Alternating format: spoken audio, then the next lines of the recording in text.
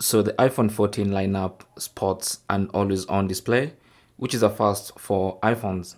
Now, in case the always on display does not come on by default on your iPhone 14, then you can enable it in the settings.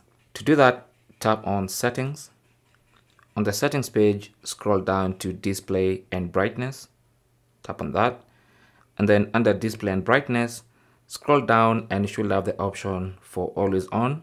And now you should have always on display. So when the screen goes off, that's what happens. So there is your always on display on the iPhone 14. That's what it looks like generally.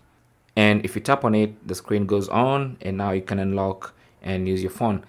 And that's how to enable always on display on your iPhone 14, 14 Plus, 14 Pro, and 14 Pro Max. Thanks for watching. Leave your comments and questions down below and good luck.